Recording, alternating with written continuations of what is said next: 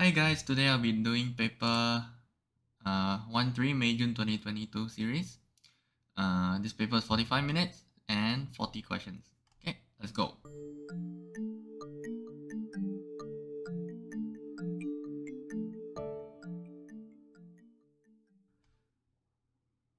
Okay, so all living organisms release energy from nutrient molecules within their cells. What is the name of this characteristic?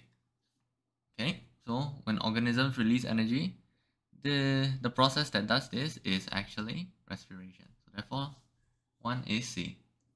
Number two, scientific names for some animals are listed.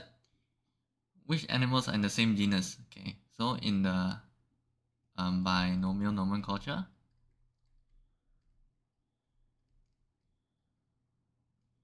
in the binomial nomenclature, the first part of the name is the genus followed by the species. So therefore, which of these has the same first part of the name would be 2 and 3, so the answer would be C. Okay. Question 3. The diagram shows dichotomous keys for arthropods. The organism shown is an arthropod called an isopod. Which group does this isopod belong to? Right. So this question is asking if you know how to read a dichotomous key. So as we see in the, the diagram, first, has the animal got wings? Uh, no, the animal does not have wings, so therefore we go this way. Has the animal got only four pairs of legs? Right, obviously has more than four pairs of legs, therefore no. Okay, has the animal got two pairs of antennae? Let's see. Yes, it has one pair, one, one longer pair, and one smaller pair. So therefore, it has two pairs of antennae. It has to be a crustacean. So therefore, the answer is B, crustaceans. Okay. The diagram shows a cross-section through two guard cells of a leaf. Which label structures will also be found in an animal cell? Right. So W is a nucleus. X is cell membrane. Y is chloroplast.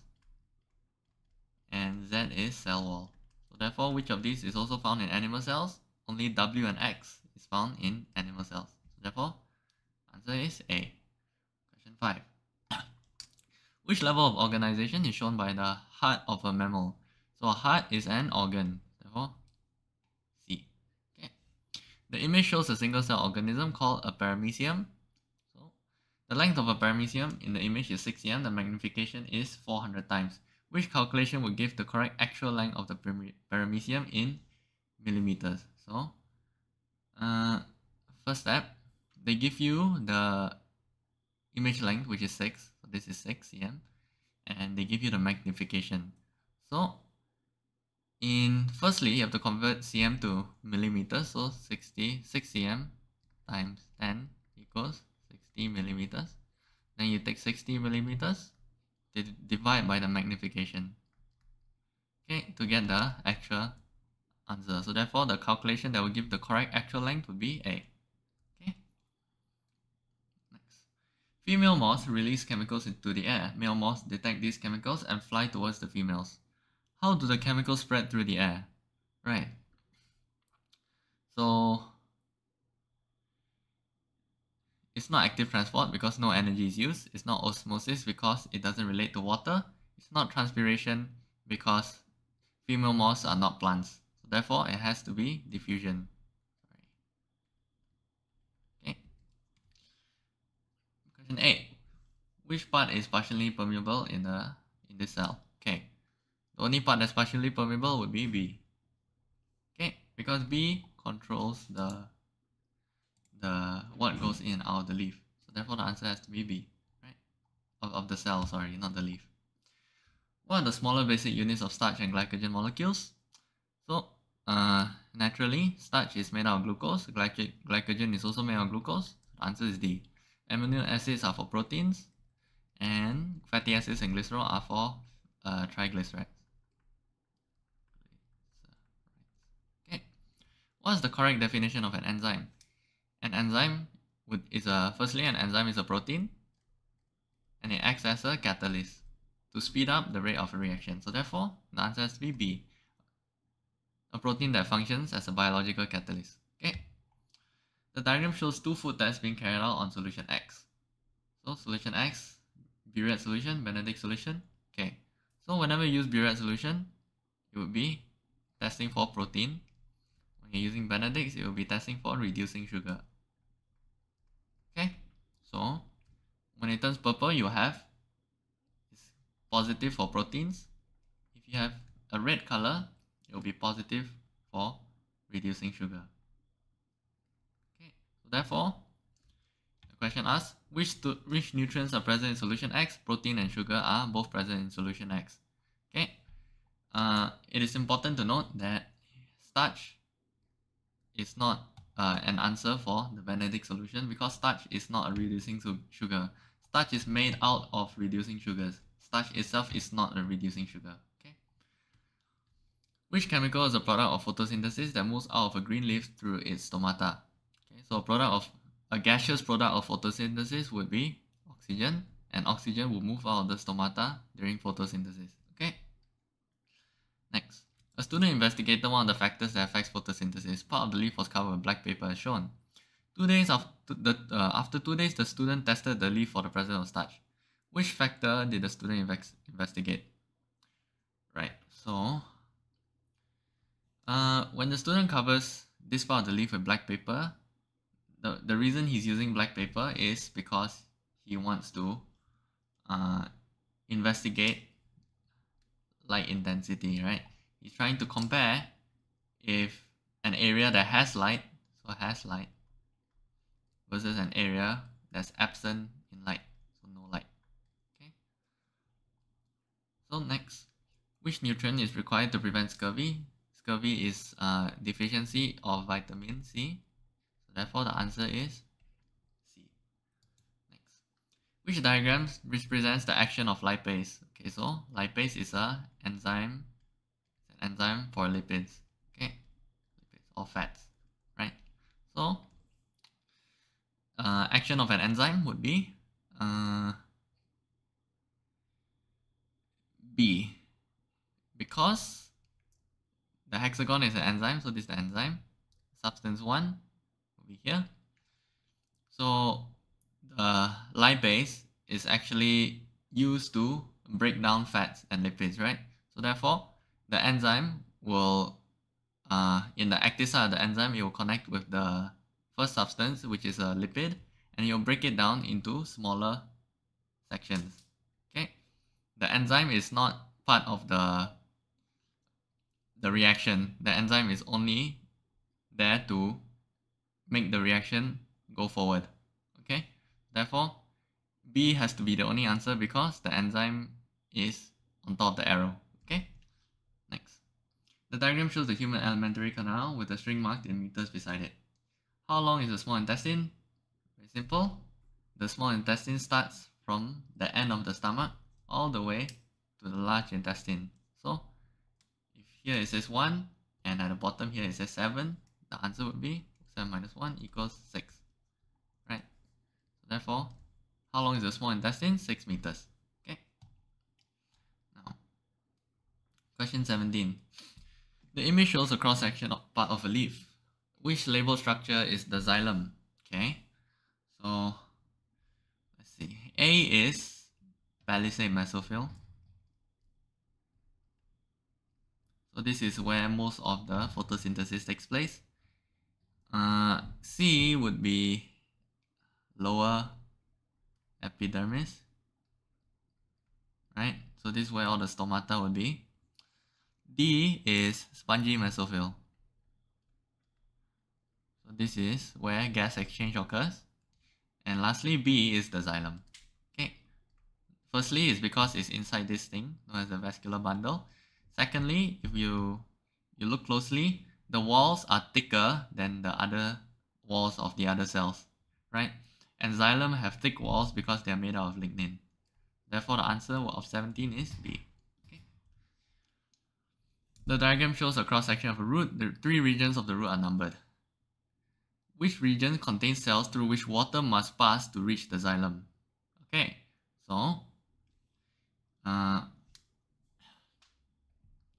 so so if water is on the outside here, so water is here, to get inside, it has to pass through uh, the outer layer. So the first layer is the root hair cell, must go through here.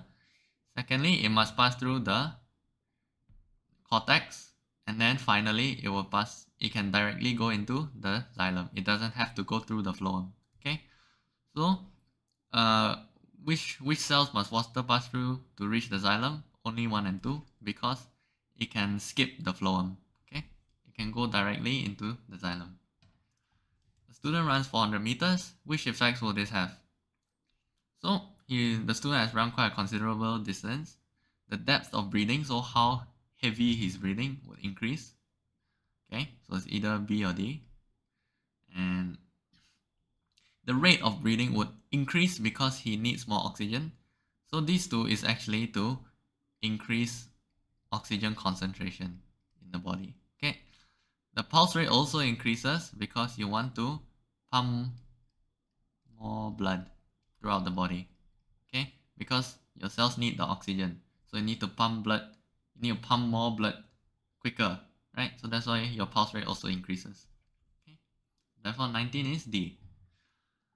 Which process is slower than normal in a person with very few platelets? So platelets is involved in uh, blood clotting.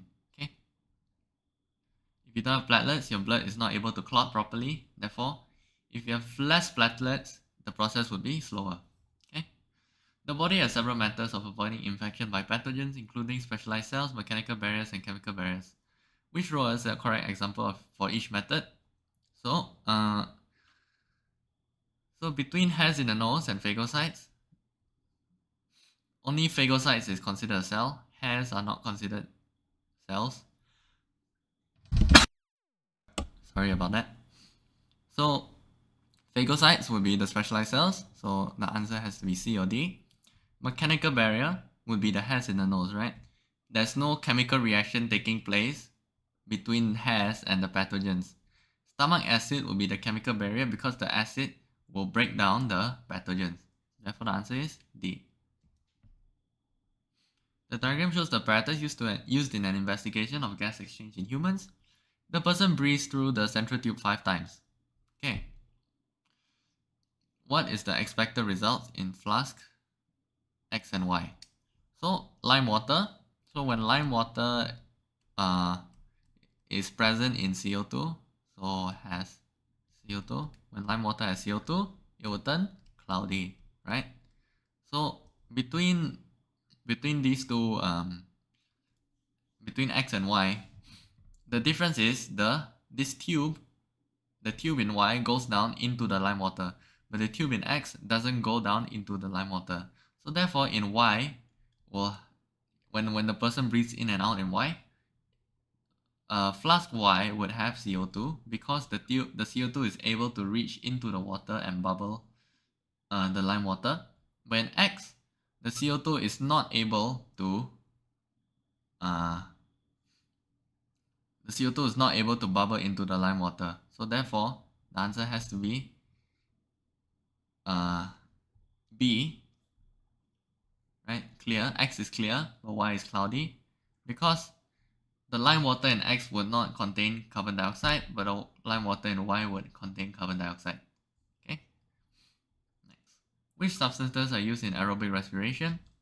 Respiration would be glucose plus oxygen. You get carbon dioxide plus water. So, which of these substances are used? So, which is a product? Uh, answer is B. Glucose and oxygen are used, but not water. Okay, water is a product, sorry. This is a reactant. Sorry. So which reactants are used, not product. Okay. Next. The bar chart shows the percentage composition of two gases in four samples of air. Which sample is expired air? Okay. So, uh, first thing first, expired air has a high, high CO2 concentration, but a lower oxygen concentration, right? However, when you breathe out expired air, uh, the the concentration will not be very drastic, right? So, so A and B is wrong because the concentration of carbon dioxide would be higher and the concentration of oxygen would be lower, much lower, right? But uh, C is also wrong because the concentration of carbon dioxide is way too high. Okay, 40% of the air as carbon dioxide is way too high, right? So even though uh, we need oxygen and we breathe out carbon dioxide, the amount of air that we breathe in is actually still mainly nitrogen. Okay, so therefore the change would would not be very very drastic like this, right? It wouldn't have a drastic change like this. So only answer that's plausible would be D. The carbon dioxide still increases, the oxygen still decreases, but the oxygen uh, and carbon di the oxygen is still more than the carbon dioxide. Okay. Right. The diagram shows the excretory system, which labels the ureter and the bladder. Right. So let's see. So this one is a kidney. Right. It's the bean-looking organ. Number two would be the ureter. So this is ureter. Number three is the bladder. And number four is urethra. Okay, so a person will have two ureters but one urethra. Okay, so which labels are the ureter and the bladder? Two and three. The answer is B. Okay. Now, 26. Which conditions will result in the largest volume of urine being produced by the kidneys? So, um, So in this question, largest volume of urine. So if you drink more water, naturally you would have more urine produced because your body needs to uh, remove more water from the body to keep to maintain homeostasis. So therefore, the answer has to be A or C. Uh, the environmental tem environmental temperature. So, uh, at a higher temperature, your body needs more water okay, to cool to cool down and everything. So therefore, your body also needs more water to sweat, right? So therefore, at a lower temperature, you require less water. So therefore, the answer has to be A. Because at lower temperatures, you wouldn't sweat as, as much, right? 26 is 8.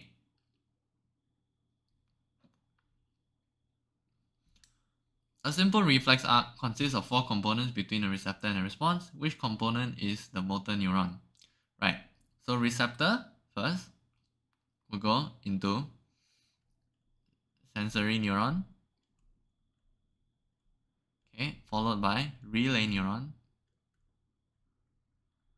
followed by motor neuron, followed by effector, followed by response.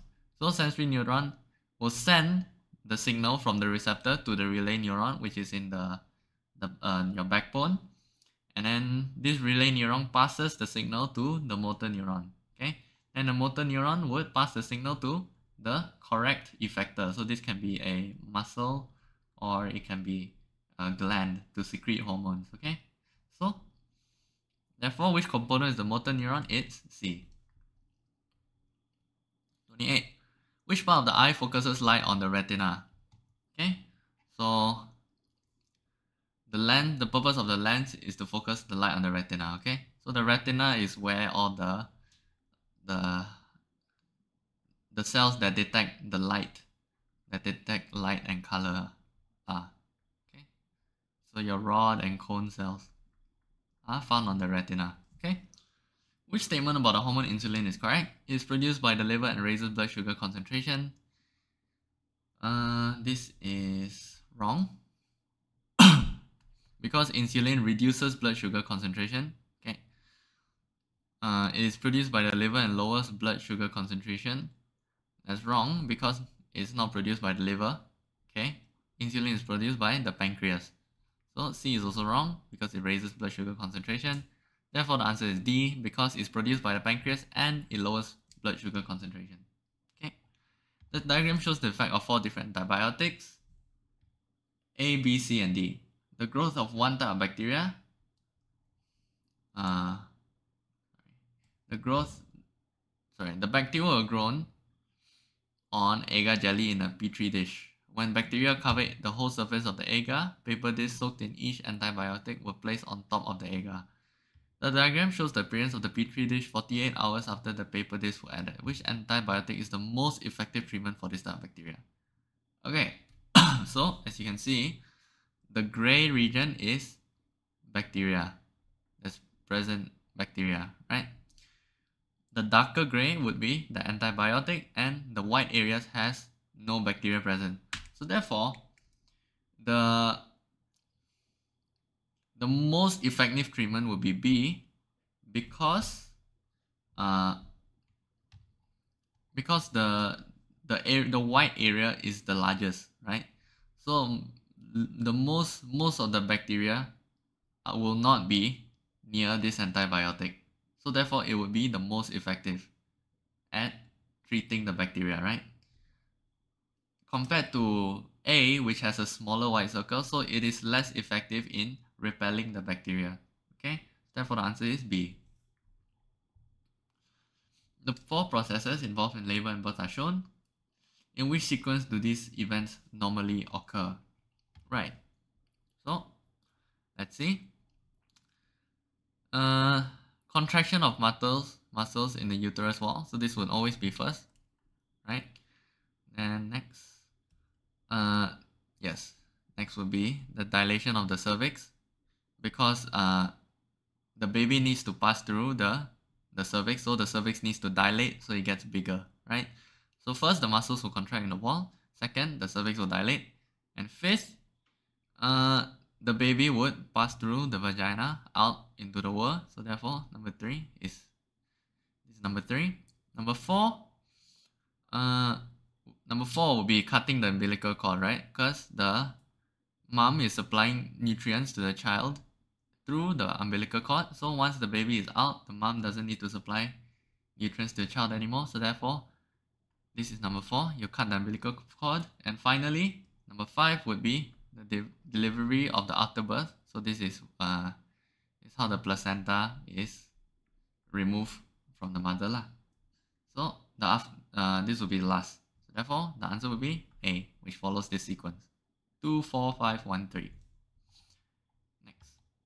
The diagram shows four types of birth control device. Which methods of birth control offer protection against sexually transmitted infections? Okay, so this is a condom.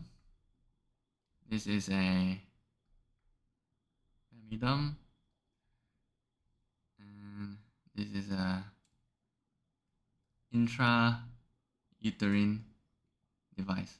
Okay, so uh, and this is sort of a a cover lah. So to protect against sexually transmitted infections, the the birth control would have to be a number one a barrier between the genitals. Okay. So therefore, the only two that provides a barrier between the genitals would be the condom and the femidom. Okay. So therefore, the answer would be A okay because these these two they don't um they don't protect against the the fluids that are transferred which are the main cause of STIs okay so the only one that provides a barrier would be 1 and 2 okay. The table shows the percentage of pregnancies in four groups of women. Each group used a different method of birth control. Which type of birth control was the most effective? Okay. So therefore the lower the percentage the better the more effective it is right? So the most effective would be in this case vasectomy because it's zero percent would be vasectomy is a surgical process. Okay. And 34 which sex hormones in the egg cell and the uh, and the sperm will produce a female child okay so the egg cell will only have XX chromosomes. The in the, the egg cell will only have X chromosomes, sorry. The sperm cell could have X or Y. Okay, to produce a female child, you want XX. Okay, therefore, answer is A. Which statement about selective breeding is correct? It does not involve humans, that's wrong. It does involve humans. It involves a struggle for survival. Wrong, because it doesn't have to do with nature. It always involves one parent. That's wrong. It can involve more than one parent. It involves parents that possess desirable features. That's the answer. Because the point of selective breeding is to enhance is to enhance the desirable features. Okay? Which process uses the principal source of energy input to biological systems? Okay, so principal source of energy input means how does the biological system first get energy? So they first get energy through photosynthesis, taking the energy from the sun. Right? Next. 37. What is the name of an organism that obtains its energy from dead organic material? Okay. So since the, the material is dead, it cannot be uh, cannot be A, cannot be D, okay? So it uh, it can be B, but it is more is better C is a better answer compared to B, right? Because C is more specific. From dead organic material would be decomposers. So decomposers would obtain energy from that organic material. Okay, so like uh, some mushrooms or fungi or uh, bacteria, they are all decomposers, right? It's not carnivore or herbivore because organic material can be plants or animals, right? It can be either or both. 38. A herd of red deer live in a forest that contains snakes and a large variety of birds. Which group of organisms is an example of a population? So, is, B is the population because uh, the red deer is one species and there's many of these species in the forest. So the number of uh, the number of red deers in the forest would be a population because it only consists of one species. Okay. Which process makes use of the genetically engineered organism? Is A, using bacteria to produce insulin because insulin is a human hormone. It's a hormone produced by humans. Okay, Bacteria don't produce insulin. So if we are using bacteria to produce something that they don't naturally produce, is a form of genetic engineering. The food web shows the feeding relationships in a woodland. All the chaffinches in a food web die, which effect will this have? The amount of damage to trees will increase. That's the answer. Because as uh, chaffinches decrease, caterpillars will increase because they have less predators. Sparrowhawks will decrease, wood pigeons will decrease, gray squirrels will decrease, trees will decrease. Okay, this is because as there's more caterpillars, there'll be less food, so there'll be less trees. And because of less trees, there'll be less gray squirrels and less wood pigeons because they have more competition with the caterpillars for the trees, right? So therefore A is the answer. And that's it for this paper. So thank you for watching. I'll see you all next time. Remember like and subscribe. Ciao.